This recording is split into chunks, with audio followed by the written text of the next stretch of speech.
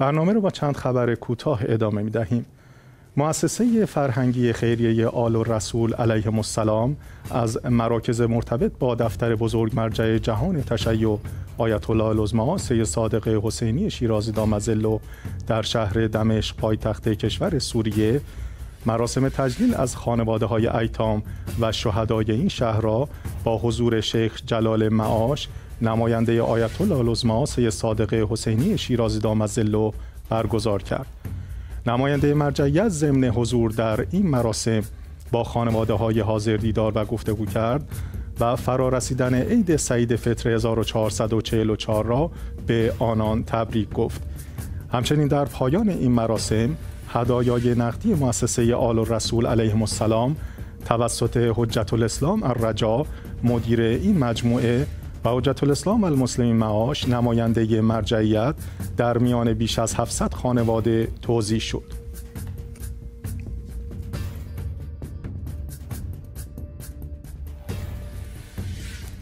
اداره پروژه های فنی و مهندسی آستان مقدس حسینی علیه السلام از دستیابی به پیشرفت قابل توجهی در کار توسعه مؤسسه بین المللی درمان سرطان وارث در شهر مقدس کربلا خبر داد. این مؤسسه به مساحت 60 هزار متر مربع که شامل دستگاه های پزشکی مدرن است اولین پروژه در نوع خود در عراق و منطقه است که خدمات پزشکی رایگان را به کودکان زیر 15 سال ارائه می کند.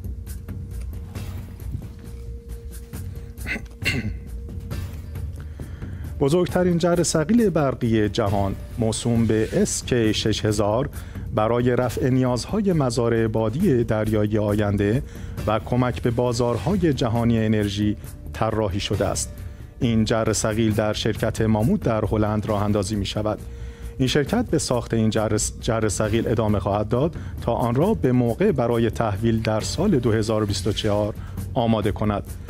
گفتنی است که این جر سقیل حتی زمانی که اتصال به شبکه برق در دسترس نیز نیست کار می کند.